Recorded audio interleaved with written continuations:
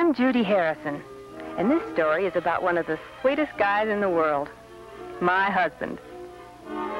Something happened that brought us closer together and made me realize what a wonderful husband he really is. I didn't give this too much more thought until after supper when Jim brought the subject up while we were washing the dishes. He said that he'd heard at the office that Ed Carter had died. And he repeated practically the same thing I had thought about this afternoon. We didn't own cemetery property. We didn't even know anything about them. I don't mind telling you, it was pretty much a shocker to realize that if we didn't do something about it now, one of us would be doing exactly what Mary Carter had to do. She'd have to choose a cemetery, and she would have to select a space.